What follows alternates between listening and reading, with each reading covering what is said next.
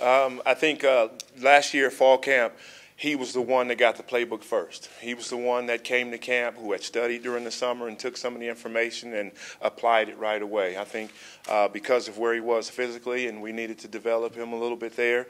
Um, you know, he got hurt and then he hit a wall. So um, I saw pretty early that he was a person that could handle what we were doing mentally. It was just physically we had to bring him along a little bit slower. Uh, well, he's still, you know, redshirt freshman. He hasn't been in the games yet, but in terms of what we've thrown at him and what we've seen, uh, he's able to play fast. He's able to run and understand the concepts. He's able to, you know, compete against the seniors and the older guys, and he's able to make plays. So uh, those combinations of things have, have really uh, made us feel great about him.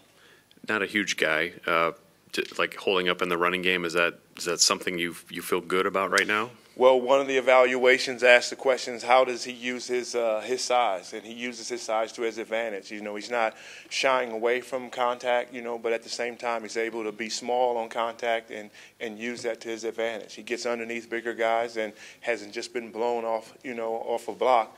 But I know that's coming. Somebody's just going to say, "Go right through him," and that's when he'll understand what that feels like.